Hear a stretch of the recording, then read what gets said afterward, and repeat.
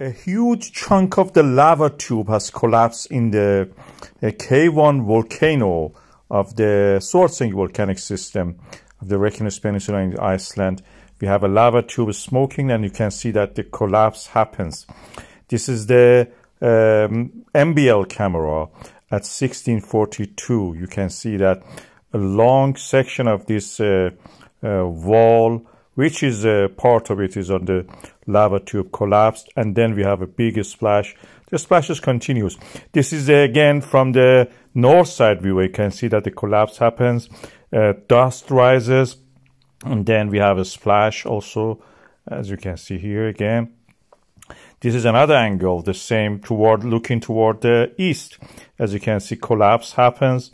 We have a, a dust rising and then a big splash coming after this. And yeah any moment you can see the splash. These are two times the speeded up by the way. Collapse happens now and so the splash. This is the ruv camera 1642 i can see that. There seems to be an earthquake or something. I didn't see anything yet on the Meteorological Office of Iceland, but this is huge, dramatic. The best view probably is RUV camera providing this. It's looking at the toward the uh, northeast. This is the view that we have here. Probably the best view. The lava tube practically is like a sail, and against the wind, wind even can collapse it.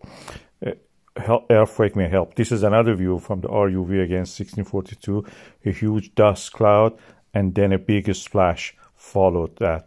This is the collapse of the wall creating this.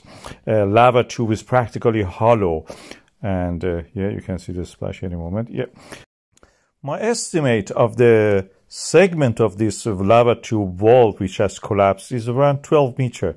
And this is based on the scale that we have uh, in the previous eruption of the K1 when people went close to it. And now this height of the the highest point of this K1 crater is uh, 55 meter to my estimate. Its lava tube is a hollow structure, so it's not very strong.